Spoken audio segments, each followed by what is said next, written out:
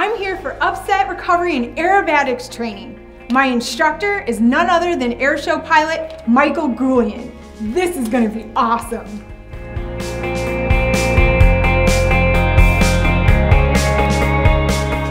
Hi. Hey Brittney, how are you? Good, good to see you. Good to see you. Welcome to Executive Flyers. Thank you. You ready to do a little unusual attitude flying? I am. I'm ready to have Yeah, some fun. It's gonna be awesome. Yeah. Come on back, let's get started. All right. Our idea here at Executive Flyers is after you've gone through an unusual attitude course, that you actually think stalls and stall practice as one safe mm-hmm. and two fun. This lesson in this week is to get you to understand stalls more mm-hmm. easily and then also recover from advanced stalls and unusual attitudes as you might find out there. So we're actually going to do unusual attitudes both VFR, looking out the window, we're going to start them in the simulator mm-hmm. and then we'll transition those into the decathlon. Okay. But then we'll also do some stuff in the Clouds IMC in the simulator as well. So Okay. Cool. so when we're out there flying, we're going to do a couple of things.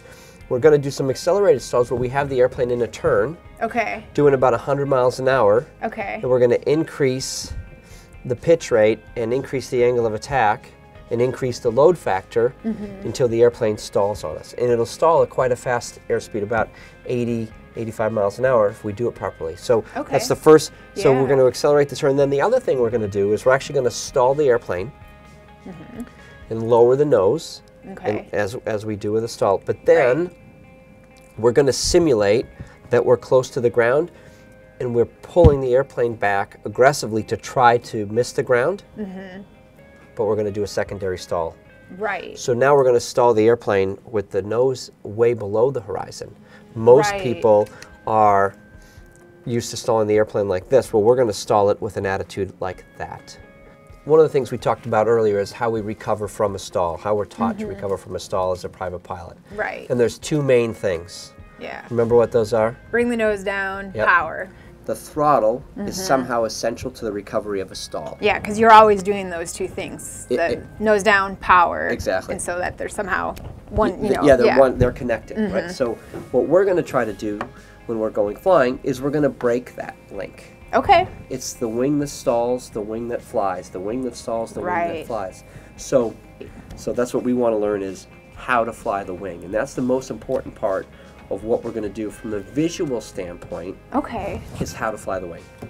Understanding where the throttle is, Mm-hmm. where the stick is, and the sound, you know what the angle of attack is, and you know how much energy the plane has. Right. And you can think of angle of attack as energy in a way. So if we have some energy left in the wing, we can do things with it. If we don't, we can't. We have to be careful. We can't pull on the Right. on the airplane or on the wing so hard. Oh, awesome. I, yeah, I like thinking about it that way. Yeah, it's Cool. a fun way to do it. Yeah. I'm just excited to get get started. Yeah, I think it'll make sense, and, and I'm excited too. We're going to have a great day, not only in the sim, but in the airplane too. So let's go for it. All right.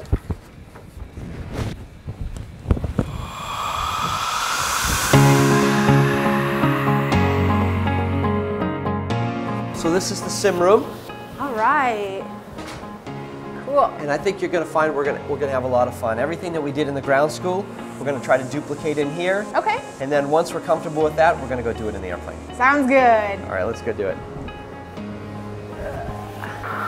Okay, so here we are, runway 29 at the Hanscom. And so we're just going to make a, a normal takeoff. We'll make a, a right turn on the traffic to what we usually refer to as the practice area. Okay. And let's climb up to about 3,000 feet. And then we'll just start our, our visual stall work from right there. All right. Sounds good. in any airplane that we, we fly, it has a profile, right? Right. So in this 172, full throttle, sea level, thereabouts, between 7 and 10 degrees of pitch is going to give us best rate of climb. Yep. What we want to do is some accelerated stall work, right? So we want to see the airplane stall Okay. at an indicated airspeed that's basically in the green arc, something that we're not used to seeing. Okay. Right. right? So let's set our power to a medium power setting of about, let's say 1700 RPM. Okay. So let's start a, a nice left-hand turn, we're clear to the left. Okay. So add some bank, so we have better, and now add some back pressure. Okay. Oh, here's the The horn. airplane stalls way up there at 50 knots, right? Yeah. You a little bit more power.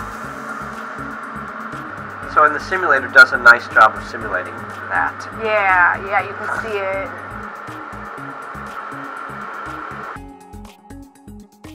Our biggest safety net is our ability to assess the situation and what might happen in case something fails. That's the way we always Right. think about it, right? Is Right. If something fails, how do I fix that?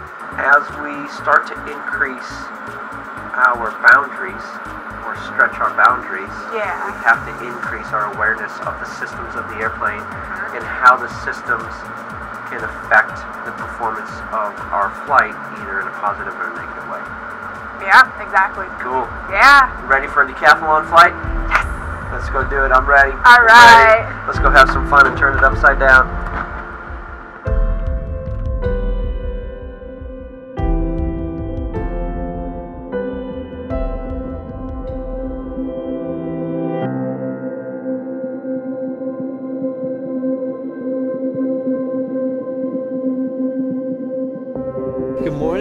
Welcome to Plymouth. Thank you. Yeah, so this is the home of Goulian Aerosports. Yeah, this is awesome. Yeah, I figured if we're going to do some unusual attitude flying, we might as well get in the spirit and have all of the aerobatic and the racing airplanes around us here. So Yes, this is so cool. I'm glad to be here. Let's go get ready to do it.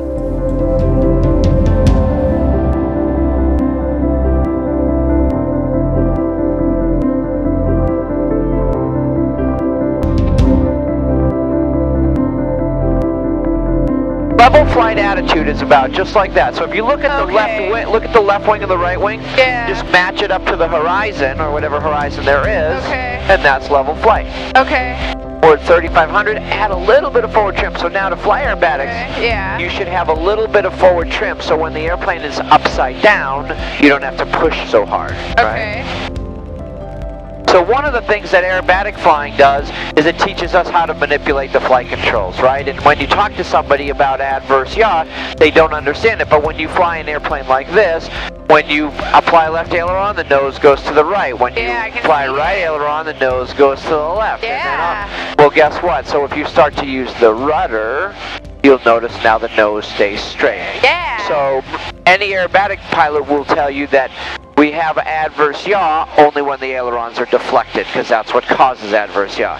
And it's just very apparent in the decathlon like this, so it's a nice way to learn. Right. Yeah, Right. I see it totally off my nose. Yep. Yeah. Okay, you're a machine. Okay. Go ahead and nice and smoothly and gently bring the power back to idle and we're going to do those power off stalls we talked about. All right. Power coming back. Now our goal is to just start to raise the nose, Huh? and we're going to stall the airplane. And we're, remember, we're not going to actually use the engine to recover on the first. Right. We're just going to fly the wing. Okay. So stick all the way back. back. There's the stall. Nose forward. Good. Hold the airplane. Support the airplane. Let the speed go. No, good. Now back on the stick for me. Okay. So there's stall number one. Let's do another one. Okay. Bring, Bring that stick stick back. Yep. This time try to hold the wings level a little bit better. Use the rudder. Nicely done. Little perfect. Now hold it. Beautiful. Look how that one was perfectly straight. Yeah. Okay. Good.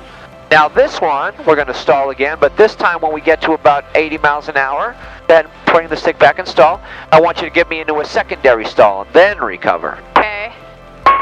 There's the stall, nose down. Now pretend we're getting close to the ground. Okay. Here's 80 miles an hour. Pull the stick back hard, the airplane starts to stall on us again, right? Yep. Very nicely done. Good. Power on up, nice and smooth. Power up. Beautiful. It's the wing that stalls, it's the wing that flies. It's Yeah. the wing that stalls, it's the wing that flies.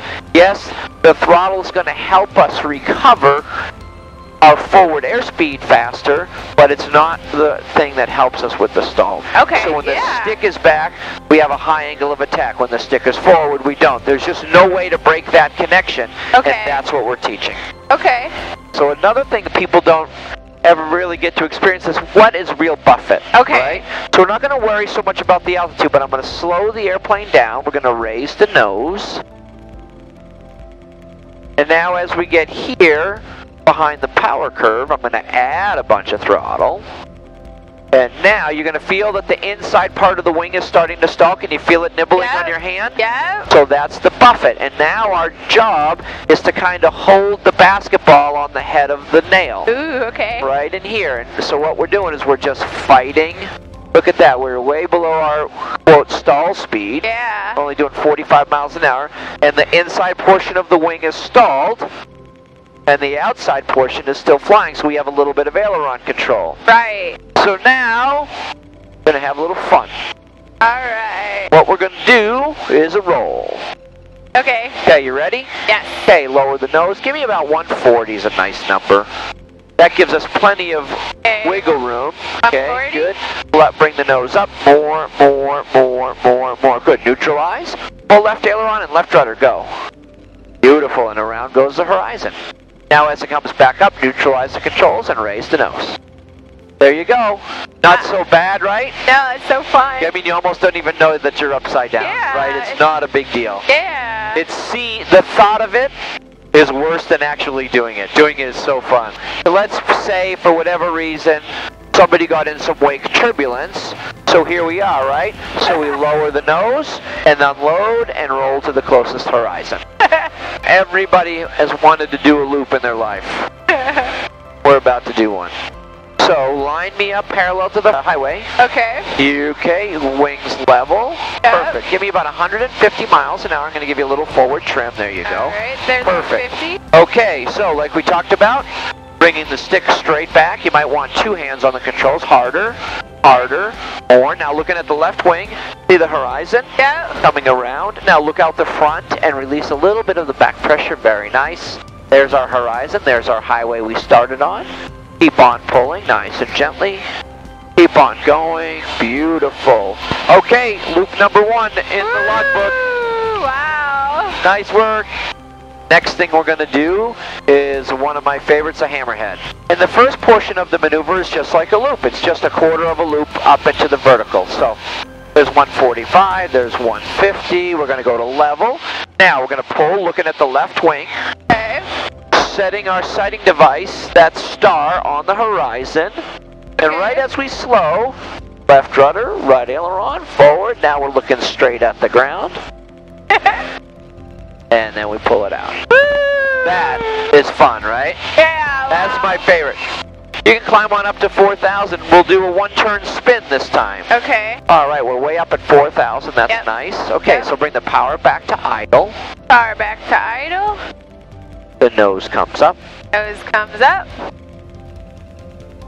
And now we're going through 80, 70, 60 right here. Full right rudder. Stick all the way back. Airplane stalls. There's a half a turn. We'll do one and a half. There's one. Now left rudder. And one and a half. And then recover. Nicely done. The first thing, the lesson about flying inverted is you have to trust the seatbelts. So nobody wants to trust the seatbelts, but you have to. It's no big deal. Okay, are you ready? yeah. Okay, put hands on the controls. Just Okay. like you're going to do the normal roll. We're just going to pitch on up. And we're going to roll. And we're going to stop upside down. That's kind of fun, right? Oh my gosh. So cool. and then upright. Nice. and then we can go home. Oh. Nice work. Yay. Thank you. All your airplane. All right.